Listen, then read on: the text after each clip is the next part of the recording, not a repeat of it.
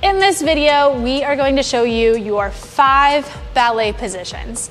We have a lot of students that need to practice this and pass this in order to go to their next ballet level. So we are making this video just for you guys to practice right at home in the comfort of your living room. okay, so we're gonna start with our feet together. This is your parallel position, right? Or actually could be even um, position number six, but we'll talk about that in a little bit. We're gonna open up our feet, rock back, heels together, toes out. This is your first position. Okay, second position, just a little bit wider than our hips.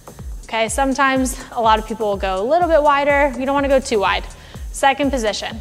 Third position, your heel is gonna slide to the middle of our foot. This is often used for beginner ballet, younger kids. It's a lot easier to work in for turnout versus a fifth position. Then we're gonna go out to our fourth position. Okay, a tip for your fourth. This would be a modern or a jazz fourth position because you can see my heels are lined up.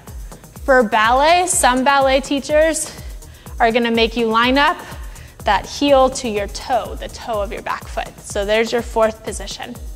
Your fifth position, we're gonna slide that heel to your big toe, and that's gonna be your fifth, okay? Personal preference, some ballet teachers will let that toe in the back stick out but we prefer not to. We're gonna cross that fifth position nice and tight.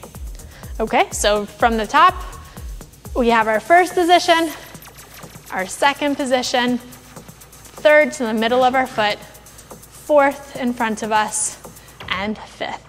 And then your sixth position, if you want some extra brownie points, is your parallel. Thank you guys so much for watching, and we'll see you next time.